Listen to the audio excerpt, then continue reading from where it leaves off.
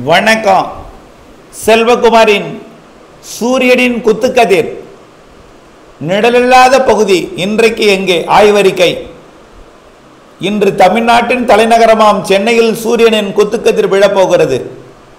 April இருபத்தி நான்கு. புதன்கிழமை இன்றைக்கு நண்பகல் பன்னிரெண்டு மணி ஏழு நிமிடத்திற்கு தொண்ணூறு டிகிரி நேராக சூரியன் குத்துக்கதிர் சென்னையில் விழப்போகிறது நிழலில்லாத பகுதி சென்னையில் அமைய போகிறது.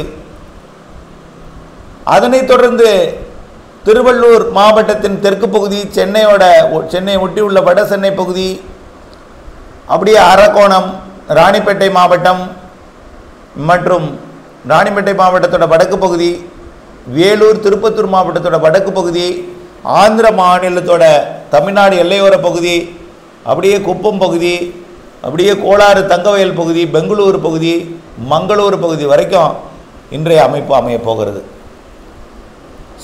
சென்னைக்கு பன்னிரெண்டு மணி ஏழு நிமிடத்திற்கு உச்சி வெயில் வரும் பொழுது தொண்ணூறு டிகிரி நேராக விடும்.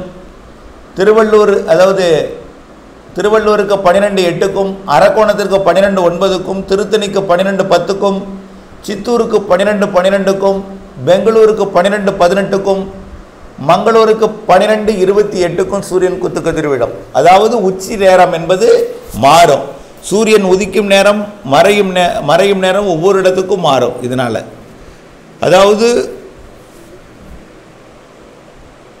ஒரு பதினோரு மணி அளவிலே தொண்ணூறு டிகிரி தொண்ணூறு டிகிரி மிக நேரான ஒரு குச்சியை தொண்ணூறு டிகிரி நேராக ஒரு தரையில் பதித்துவிட்டு தொடர்ந்து அதை உற்று நோக்கி வந்தால் அந்த குச்சியின் நிழல் முதலில் மேற்கு பக்கம் எடுத்து கொண்டிருக்கும்.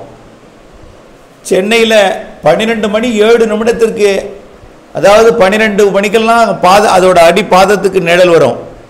படிப்படியாக பன்னிரெண்டு மணி ஏழு நிமிடத்திற்கு அந்த குச்சியோட நிழல் அந்த குச்சியின் மீதே விழுந்துடும் சுற்றிலும் எந்த இடத்திலும் விழாது. அதே நேரத்தில் மாமல்லபுரத்தில் பார்த்தீங்கன்னா பன்னிரெண்டு ஏழுக்கு எங்கே விழும்? தெற்கு பரம் விடும் நிழல். அதே நேரத்தில் திருப்பதியில் எங்கே குச்சியோட நிழல் விடும்? பழவேற்காட்டில் வடக்கு புறம் விழும். தொண்ணூறு டிகிரி நேராக சூரியன் குத்துக்கதிர் விழக்கூடிய இடம் இன்றைக்கு சென்னை முதல் மங்களூர் வரைக்கும் உள்ள ஒரே நேர்கோடு. சென்னை முதல் மங்களூர். சென்னை முதல் மங்களூருக்கு இடைப்பட்ட பகுதி எல்லா இதில் இருக்குது பெங்களூரு கோளாறு தங்கவயல் சித் குப்பம் மற்றும் சித்தூர். சித்தூருக்கு தெற்கு பகுதி ஆந்திர எல்லையோர திருப்பத்தூர் வேலூர் மாவட்டம் திருவள்ளூர் மாவட்ட தெற்கு பகுதி சென்னை காஞ்சிபுரம் மாவட்டத்தின் வடக்கு பகுதி. இதெல்லாம் இன்றைக்கு சூரியன் குத்துக்கதிர் விடக்கூடிய இடம். இதில் அச்சப்படுவதற்கு ஏதும் இல்லை. நேற்றைக்கு இதே சென்னையில் இதே பன்னிரெண்டு மணி ஏழு நிமிடத்திற்கு நிழல் வந்து வடக்கு புறம் எழுந்திருக்கும். இன்றைக்கு நிழல் இருக்காது அதே பன்னிரெண்டு ஏழுக்கு. ஆனால் நாளை பன்னிரெண்டு ஏழுக்கு தெற்குப்புறம் விழும் சென்னையில்.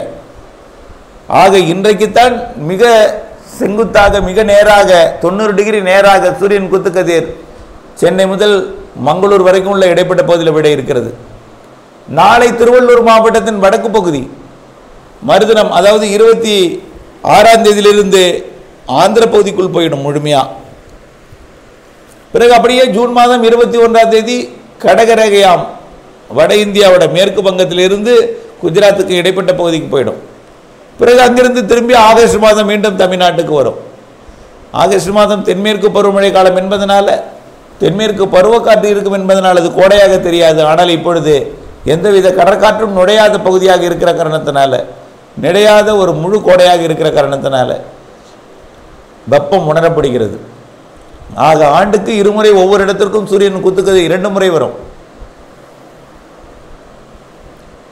இந்த ஆய்வை நீங்கள் ஏன் எதற்கு எப்படி என்பது என்று அறிந்து கொள்ள இன்று மதியம் பதினோரு மணியில் பதினோரு மணி அளவு பதினொன்றரை மணி பன்னிரெண்டு மணிக்குள் நீங்கள் ஆய்வறிக்கையை மேற்கொள்ள தயாராக இருங்கள்.